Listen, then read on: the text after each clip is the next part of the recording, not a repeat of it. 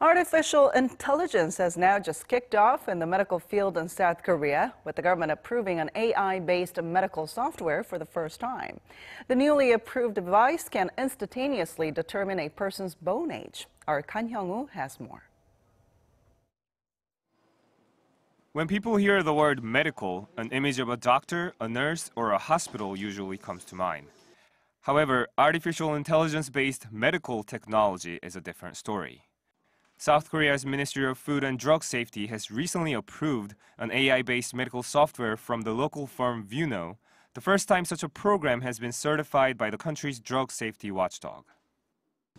This AI-powered device identifies the age of a person's bones by comparing their X-ray with a similar bone image representing a certain age, and patients don't have to wait for the results. It is called VunoMed Bone Age, and it cuts down the time needed for bone age assessment by 60%. Traditionally, doctors would have to pull out a reference book to determine the age of a person's bones, a process that usually took five minutes or longer.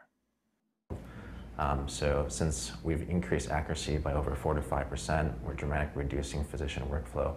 Um, it is designed for use at growth and development clinics for children to predict how much a child can potentially grow.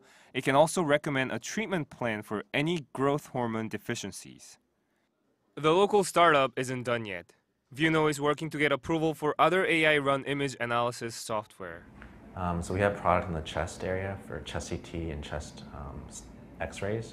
And then we also have a fundoscopy pro uh, product um, that's similar to a glucose product that we can automatically detect within the eye different um, pathologies like diabetic retinopathy.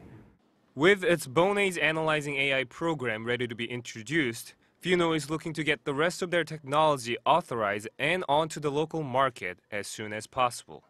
Kan Hyeong-woo, Arirang News.